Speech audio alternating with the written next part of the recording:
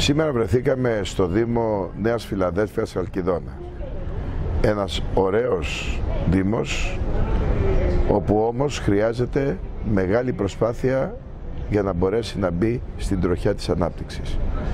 Ένας Δήμος που χρειάζεται αύριο τη συνεργασία με μια περιφέρεια που να ξέρει, να μπορεί, αλλά και να συνεργάζεται πραγματικά με το χώρο της πρώτης βαθμού αυτοδιοίκησης για να μπορέσουν να γίνουν τα καπή, να μπορέσει να υπάρξει ανάπλαση στο πολύ ωραίο πράσινο το οποίο έχει ε, από το κάλσος Νέας Φιλαδέλφειας αλλά και συγχρόνως μέσα από την συζήτηση που κάναμε με τους ανθρώπους της υγείας, τα σώματα ασφαλείας, ε, τους ε, ανθρώπους του μόχθου, τους ανθρώπους όπου ζητούν και διψούν μια αλλαγή στις τοπικές κοινωνίες, αντιληφθήκαμε ότι έχουμε μια μεγάλη ευθύνη.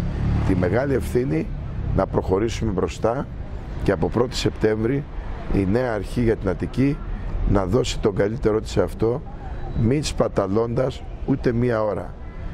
Είδαμε τους ανθρώπους της τρίτης ηλικίας σε μια εξαιρετική προσπάθεια που κάνει ο Σεβασμιότατος Μητροπολίτης ο κύριος κύριος Γαβριήλ με το γυροκομείο. Είδαμε τον πολύ σημαντικό χώρο όπου υπάρχει το ΙΚΑ, το παλιό ΙΚΑ, χρειάζονται όμως βοήθεια για να μπορέσουν να προσφέρουν το καλύτερο σε αυτό. Νέα αρχή για την Αντική, προχωράμε.